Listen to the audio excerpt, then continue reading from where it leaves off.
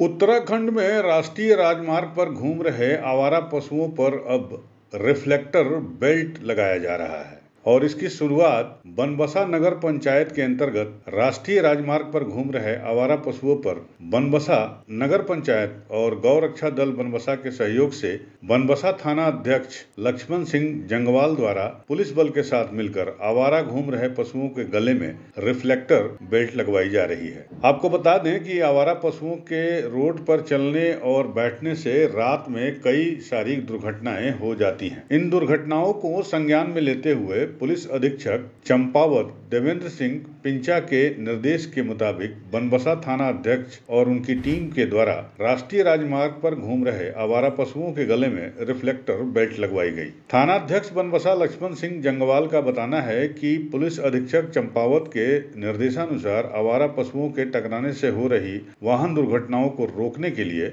बनबसा नगर पंचायत और गौ रक्षा दल बनबसा की टीम का सहयोग लेते हुए हमारी पुलिस टीम के द्वारा जगबुड़ा पुल से राष्ट्रीय राजमार्ग टनकपुर रोड में सड़क किनारे बैठे और सड़कों पर घूमते हुए आवारा पशुओं के गले में रिफ्लेक्टर बेल्ट लगाई गई, जिससे लगातार आवारा पशुओं के टकराने से हो रही वाहन दुर्घटनाओं को रोका जा सके। रिफ्लेक्टर लगाने से ये फ़ायदा होगा कि वाहन चालक को दूर से ही जानवर की पोजीशन पता चल जाएगी, जिससे दुर्घटनाओं को अवॉइड किया जा सकता है। श्रीमान पुलिस अधीक्षक महोदय चंपावत के दिशा निर्देशानुसार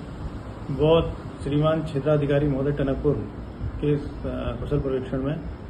हमारे द्वारा जो सड़क पर जो आवारा पशु काफ़ी समय से घूम रहे थे, जिनके कारण रात्रि के समय काफ़ी दुर्घटनाओं की दुर्घटनाएँ हो रही थी तो उसके रोकथाम हेतु तो हमारे द्वारा एक पहल की गई कि आज